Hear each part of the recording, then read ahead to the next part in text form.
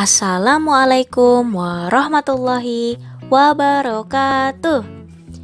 Hai anak-anak, masih semangatkah kalian hari ini? Semoga kalian semua masih semangat ya.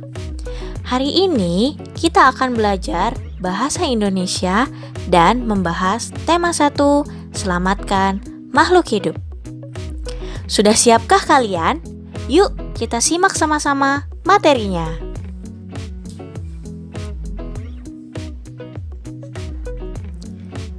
Hal pertama yang akan kita bahas adalah menyajikan informasi dalam teks laporan hasil pengamatan yang dibaca dan didengar.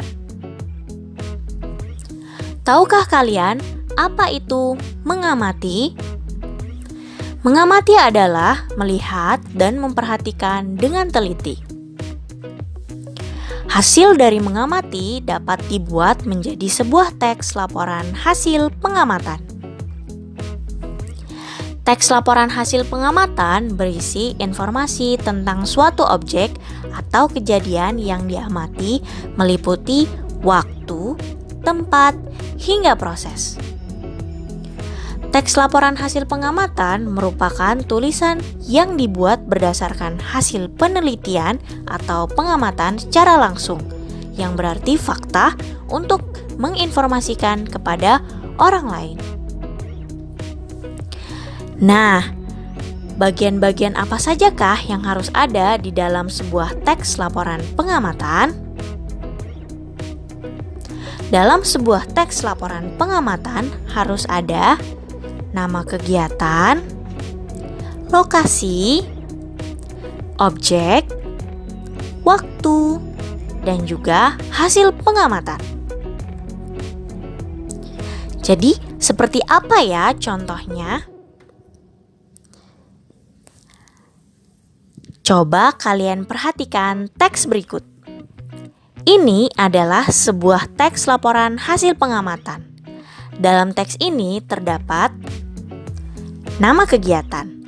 Nama kegiatannya adalah pengamatan makhluk hidup di sekitar. Lalu ada lokasi. Lokasinya di Kebun Binatang Ragunan, Pasar Minggu, Jakarta Selatan. Lalu ada waktu pengamatan waktu pengamatan pada hari Kamis 5 April 2018. Lalu ada objek yang diamati. Objek yang diamati adalah hewan di kebun binatang Ragunan. Selanjutnya terdapat hasil pengamatan.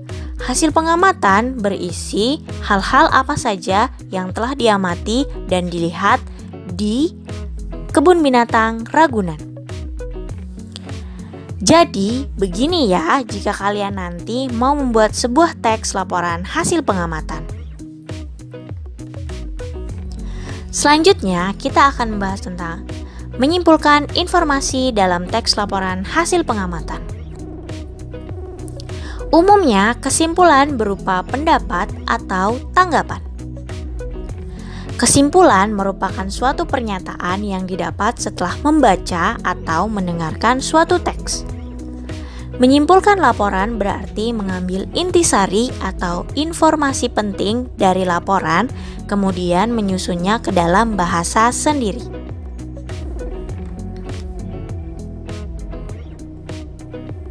Ada beberapa hal yang harus kita perhatikan dalam membuat kesimpulan. Di antaranya adalah satu, membaca keseluruhan teks dengan seksama. 2. Mencatat setiap informasi penting dari teks. 3. Menentukan ide pokok setiap paragraf. 4. Mencatat kata kunci pada laporan. Dan yang kelima adalah membuat pernyataan sesuai informasi, ide pokok, dan kata kunci pada laporan dengan ringkas.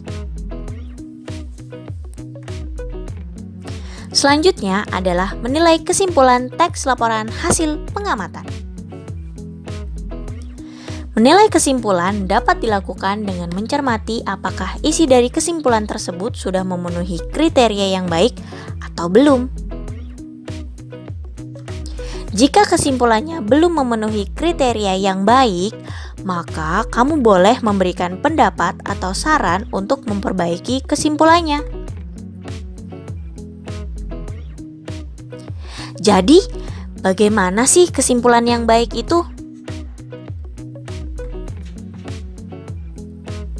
Kriteria atau ciri yang harus dipenuhi agar suatu kesimpulan dapat dinyatakan baik di antaranya Isi harus sesuai dengan informasi dalam laporan Mengandung ide pokok dan informasi penting laporan Berisi pernyataan yang dibuat menggunakan kalimat sendiri Dan menggunakan kata baku dan kalimat efektif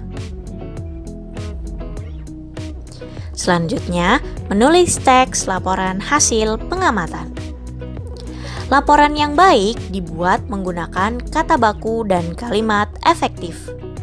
Kata baku adalah kata yang sesuai dengan Kamus Besar Bahasa Indonesia atau yang biasa disingkat dengan KBBI. Dalam membuat sebuah teks laporan hasil pengamatan, kamu harus memperhatikan waktu, tempat, suasana, dan proses dari peristiwa yang diamati. Ingat ya, laporan harus dibuat apa adanya, sesuai dengan apa yang dilihat, yaitu berupa fakta dan nyata bukan hasil pikiran atau khayalan kamu ya. Nah, demikianlah pembahasan kita hari ini. Tetap semangat ya anak-anak. Sampai bertemu kembali. Terima kasih. Wassalamualaikum warahmatullahi wabarakatuh.